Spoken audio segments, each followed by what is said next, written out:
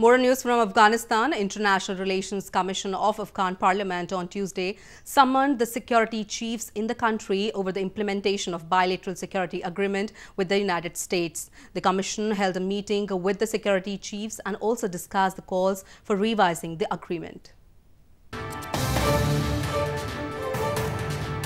Members of the International Relations Commission of Afghan Parliament on Tuesday summoned ministers over the implementation of the Bilateral Security Agreement or BSA with the US. The members said, based on the plan, the security chiefs were supposed to report to the Commission every six months about the implementation of BSA articles, but they have failed to do so. The Commission and security chiefs held a discussion during a meeting which also focused on the calls for revising the BSA.